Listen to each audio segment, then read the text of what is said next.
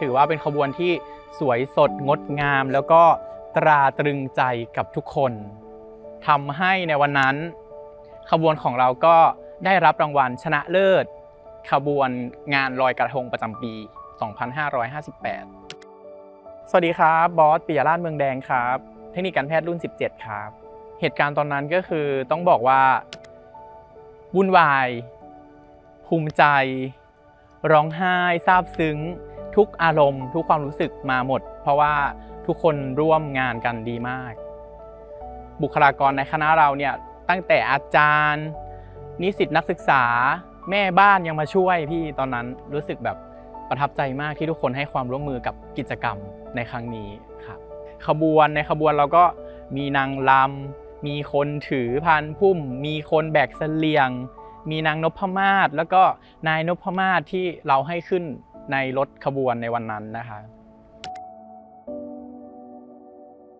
เป็นสิ่งที่ทำให้ทุกคนเนี่ยมีคอนเน็ชัน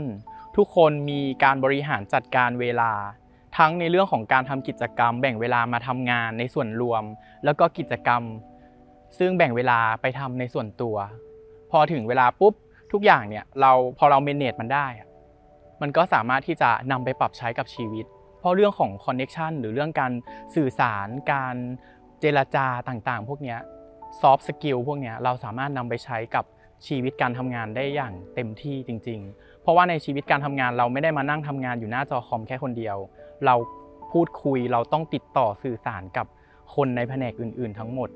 ซึ่งจริง ๆ คือกิจกรรมในวันนั้นน่ะมีทุกการสื่อสารมีทุกกระบวนการที่เราสามารถนำไปปรับใช้ได้ พอนึกถึงตอนนั้นแล้วก็อยากขอบคุณ